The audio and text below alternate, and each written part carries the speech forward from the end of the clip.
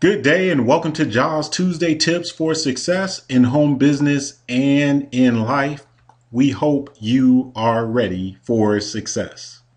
Welcome back. It's Tuesday and yes, it's time for Jah's Tuesday Tips. I'm excited to be able to share with you things that I've learned about being successful in home business and in life. And today, what I want to share with you all is something that is actually very simple, but very empowering to gauge whether or not you are really moving forward and progressing to be successful in your business or whatever your life goals or objective may be. I myself, I'm in the network marketing industry. Love network marketing. Think it's a great, great business that people should participate in. But regardless of whether you what you're doing, I think you're going to really love this. Now, what I find, and I'll speak to it from a network marketing standpoint, is that I find that people will get into a home business, network marketing home business, and they will uh, you know, sign up and maybe they don't really quite get going and, and then a week later, 30 days later, whatever goes by and they're talking about doing it. Maybe they're on the conference calls. Maybe they're talking with their, their team leaders or whatever. They're attending different events. And then they look up and 30 days later and they say, nothing's really happened for them, right?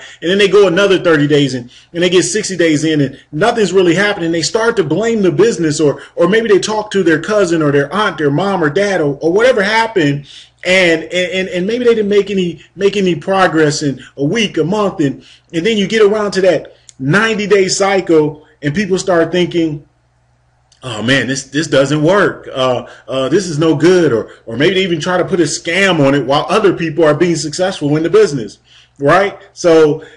What's what's the difference? Why why are some people being successful and others are not?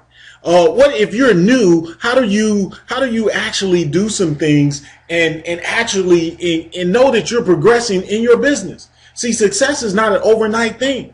Ask anyone who's had success. You're going to have challenges. You're going to fail forward.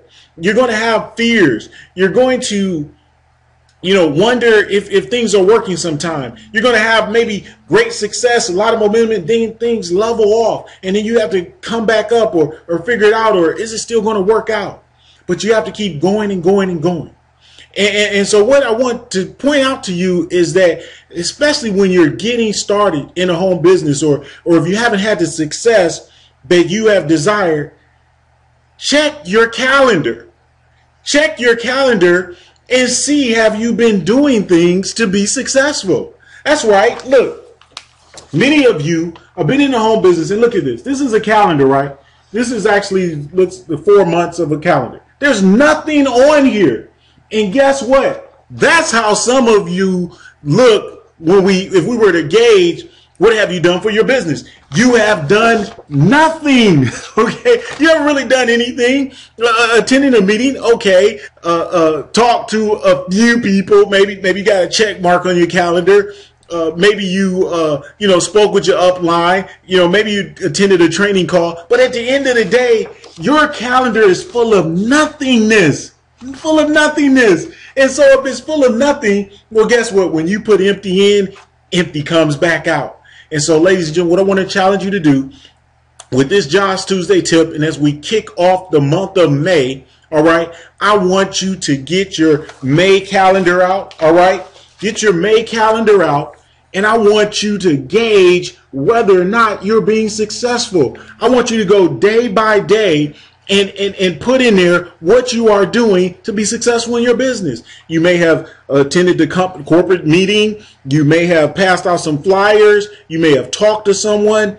But if you get through the days and the weeks and you go on and on, and the only thing you did was attend your daughter's birthday party, okay, uh, or something like that, then you have to say, it's not the business.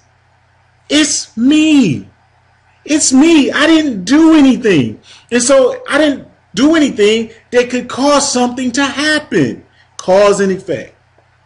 Cause and effect, ladies and gentlemen. So if you do the things, you go and engage in the things that maybe you're learning, maybe the training, all of the different stuff out there, and you begin to apply it. You begin to track you begin to track your progress and what you're doing, I tell you, you will begin to see success or you'll see where you need to improve. You, you'll be able to talk to your coaches, your, your sponsors, your team members, whatever, and find out what they're doing, what you're applying, where you need to tweak things so that you can begin to have success. But it's so sad that some of us, we get involved in a business, we get involved in an opportunity, we, we have some goals, some dreams, some things we're trying to accomplish, and and we'll, and then we get 30 days later, 60 days, 90 days, even a year later, or whatever it is, and, and we try to blame someone else, and there's nothing on our calendar, there's nothing we can track of significance that would show that we actually engaged in work and then did the things and learned from our errors to have that success.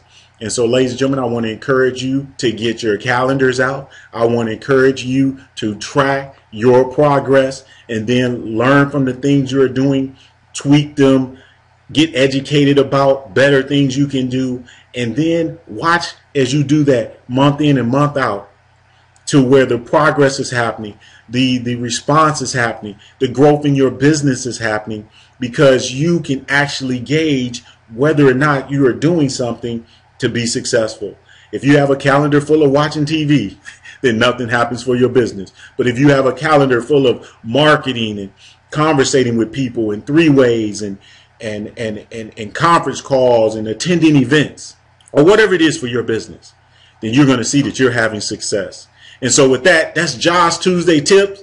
Get your May calendar going and get busy having success. So until the next time, we thank you for watching and viewing and be sure to comment and give us feedback on these tips for success in home business and in life. This is Jah Kafele saying make sure you have a successful day.